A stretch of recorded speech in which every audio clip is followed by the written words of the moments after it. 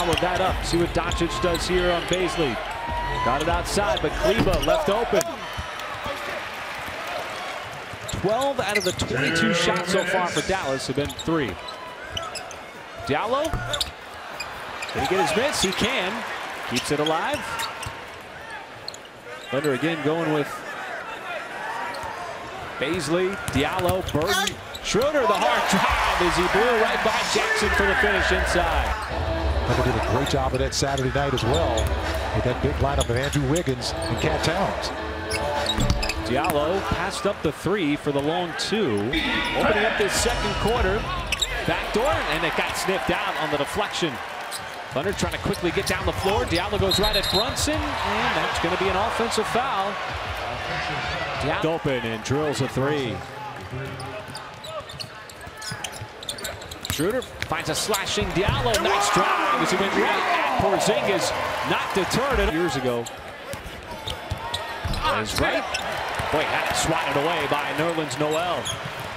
As he's made an impact, now the dive by Barger elevates and detonates at the rim.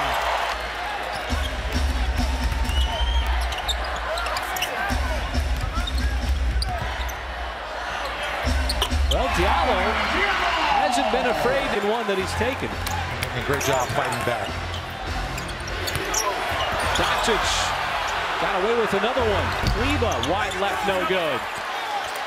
And Diallo rips away that rebound for the Thunder. Can get even closer here in this third quarter. Schroeder again, straight away. And it's Doncic tracking it down on the baseline. Schroeder shooting with a lot of confidence. Diallo able to get. That's an offensive foul. I mean, what not be the shooter that that uh, Doncic is, but you have to give him that same respect. Thunder have to make a move here offensively. Diallo hangs in the air long enough. Nice move as he was. He can put together offense in a hurry. It's just come in very short bursts here on the night. Brunson tough on the reverse. Never quite had the angle. Well, you close out on him, you stay attached to him, force him into a tough shot. Schroeder pulls up. And he attempts to torment the Thunder. Diallo almost turned it over. Pulls up again right at the free throw line. In and out. Adams, was he the last to touch?